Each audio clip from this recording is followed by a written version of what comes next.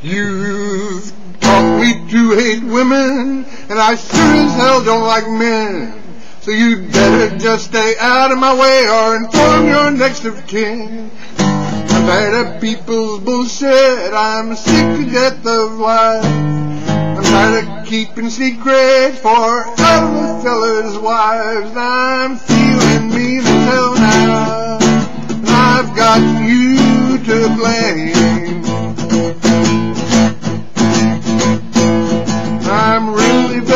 Sorry I ever heard your name.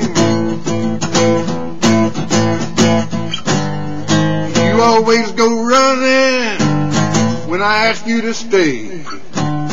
You didn't even remember my 54th birthday. You're always wanting me to just be there for you. But everybody else is the one who gets the screw. And I'm feeling mean as hell now. And I've got you to blame.